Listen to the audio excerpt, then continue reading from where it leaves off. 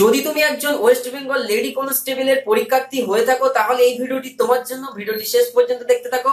Hello viewers this is Alamin Rahman and you are watching the way of solution আজকে আমরা খুবই গুরুত্বপূর্ণ বিষয় নিয়ে কথা বলব।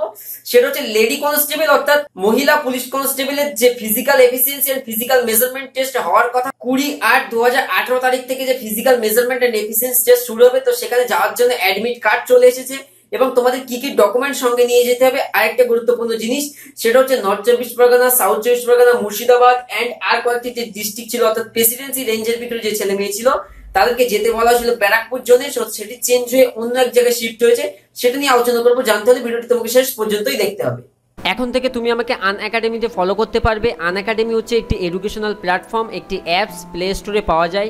প্লে স্টোর থেকে এখনই অ্যাপসটি ডাউনলোড করো ইন্ডিয়ার লার্জেস্ট ওয়ান এডুকেশনাল প্ল্যাটফর্ম তোমরা যদি এসএসসি জিডি কনস্টেবল কিংবা ফায়ার অপারেটর কিংবা পাবলিক সার্ভিস কমিশনের যে কোনো পরীক্ষার প্রস্তুতি নিতে চাও, ওখান থেকে নিতে পারবে। ওখানে সব ধরনের কোর্সের লেসেন আপলোড করা হয়। তোমরা সার্চ করো আলামিন রহমান। তো যে কথা বলছিলাম, আমি ডিস্ট্রিক্টগুলোকে আরেকবার রিপিট করে দিচ্ছি।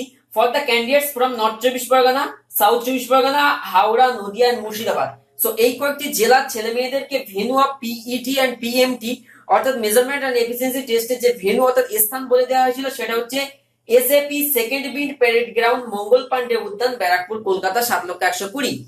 অর্থাৎ তোমাকে ব্যারাকপুর যেতে বলা হয়েছিল, মঙ্গল পান্ডে উদ্যান সেকেন্ড বিন ভালো করে লক্ষ্য করো, তোমাকে যেতে বলা হয়েছিল সেকেন্ড বিনে কিন্তু সেটি শিফট করে ডিউ টু আনভয়েডেবল সার্কামস্টেন্সেস এই কারণটা ওনারা দেখিয়েছে। দেখার পরে তো তোমাদের ওটা শিফট করে চলে আছে থার্ড বিন অর্থাৎ ধরে নিচ্ছে একটা বড় প্যারেড গ্রাউন্ড প্যারেড গ্রাউন্ডের সেকেন্ড বিন হচ্ছে এই অংশটি, আর থার্ড বিন হচ্ছে এই অংশটি। তো এখান থেকে শিফট করে এই অংশে চলে গেছে। অর্থাৎ এই নোটিশটি এখন সন্ধ্যাবেলায় বেরিয়েছে। আমি জাস্ট একটু আগে দেখছিলাম, তো দেখি অলরেডি তোমাদের নোটিশ চলে এসেছে সঙ্গে সঙ্গে তোমাদের আপডেট দিয়ে দিলাম।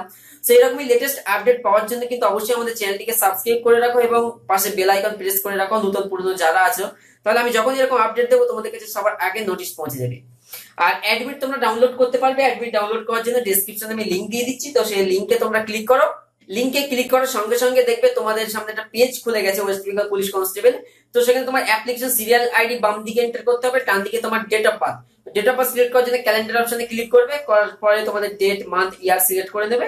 সাবমিট করার সঙ্গে সঙ্গে তোমার সামনে পিইটি এন্ড পিএমটি যে অ্যাডমিট কার্ড সেটি ডাউনলোড করার অপশন দিয়ে দেবে। সেখানে ক্লিক করলে তুমি ডাউনলোড করতে পারবে ইজিলি এই কারণে এটি দেখালাম না। তো তোমরা অ্যাডমিটে ডাউনলোড করে প্রিন্ট আউট করে নাও এবং এবং একটি গুরুত্বপূর্ণ বিষয়, সেটি হচ্ছে ওই কুড়ি তারিখে তোমার যাওয়ার দিন হতে পারে ব্যারাকপুর র্যালি গ্রাউন্ড কিংবা যেটি রয়েছে দেবগ্রাম জলপাইগুড়িতে এবং দুর্গাপুর বর্তমানে। তো যে যেখানেই যাবে না কেন, মনে কিন্তু ফুল কনফিডেন্স নিয়ে যাবে। শুনে একটা জিনিস ভাববে যে এতগুলো ছেলে মেয়ে, যে এতগুলো ক্যান্ডিডেটের ভিতরে তুমি কিন্তু পাস করেছ। এই জিনিসটা মাথায় রাখবে। যে মনে করো দশ হাজার জন পরীক্ষা দিয়েছিল, তো সবাই তো পাস করেনি। তো যারা ফেল করেছে, তুমি তাদের পয়েন্ট অফ ভিউ থেকে বলেছে, ওরা পাস করেছে। তো এই নিয়ে নিজের মধ্যে মোটিভেট করতে থাকবে, কখনোই নার্ভাসনেস আনবে না। নার্ভাসনেস আনলেই কিন্তু তুমি আর কিছু করতে পারবে না ওকে তো যেভাবে কথা বলা, ওদের সঙ্গে সেই কথা বলার এফিসিয়েন্সিটাই কিন্তু তুমি হারিয়ে ফেলবে। সেই কারণে বলব নার্ভাসনেস রাখবে না। আরেকটা গুরুত্বপূর্ণ জিনিস অ্যাডমিট তো প্রিন্ট আউট নিয়ে নেবে। আমার কাছে একটা অ্যাডমিট রয়েছে। এটি নর্থ চব্বিশ পরগনা ডিস্ট্রিক্টের একটা মেয়ের অ্যাডমিট তো প্রশ্ন হলো, ওনার অ্যাডমিটের বাম দিকে দেখবে ভেনু লেখা আছে। District North Chabbish Pargana date of PMT and PET ওনাকে ডেট দিয়েছে তেইশ আট দু হাজার আঠারো।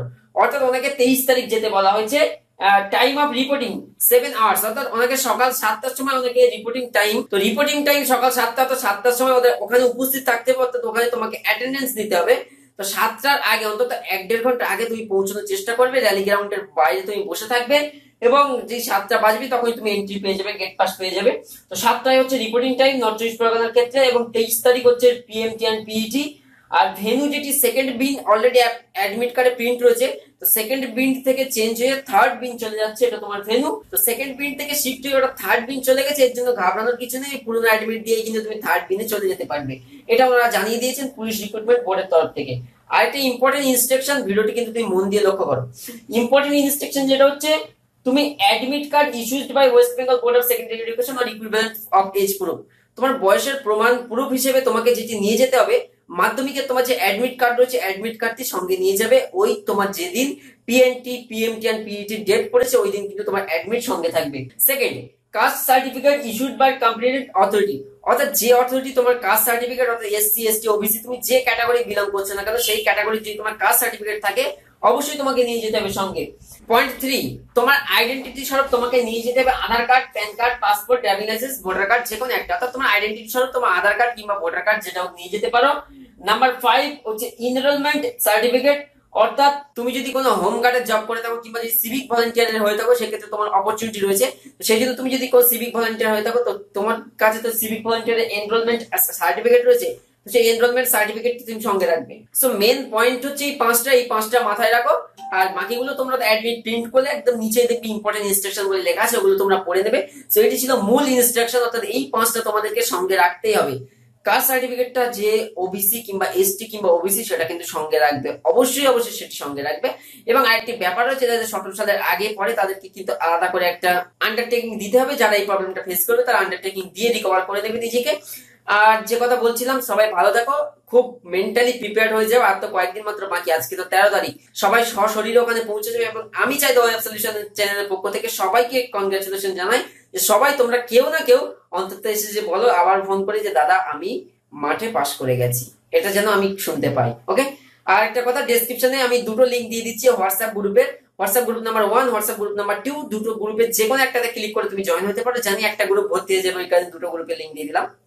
তো এই গ্রুপে তোমরা অর্থাৎ পাবলিকেরা মেসেজ করতে পারবে না, অর্থাৎ স্টুডেন্ট কেউই মেসেজ করতে পারবে না। কেননা তোমরা সবাই চাকরি পরীক্ষার্থী। আমি জানি যে হঠাৎই যদি মেসেজের পর মেসেজ একটা গ্রুপ থেকে আসতে লাগে তোমরা বোরিং ফিল করবে এবং তোমাদের মাইন্ডটা ডিস্টার্বনেস হবে। তো এই কারণে আমি যেটি করেছি পাবলিকের অর্থাৎ স্টুডেন্টের মেসেজ আমি বন্ধ করে দিয়েছি। শুধুমাত্র আমি মেসেজ করতে পারব, যখন কোনো ইম্পর্টেন্ট আপডেট আসবে কিংবা কোনো প্র্যাকটিস সেট কিংবা কোনো পিডিএফ ফাইল আমি আপলোড করব, ওখানে দিয়ে দেবো। তো তোমরা সবাই গ্রুপে জয়েন হও। আশা করি তোমাদের ভালো লাগবে। সো দেখতে থাকো এইভাবেই দাও ওয়েব সলিউশন এবং সঙ্গে থাকো, আর অঙ্ক ক্লাস নিয়ে চাপ নেওয়ার কিছু নেই। কাল সকালে অঙ্ক ক্লাস আসলেও আসতে পারে।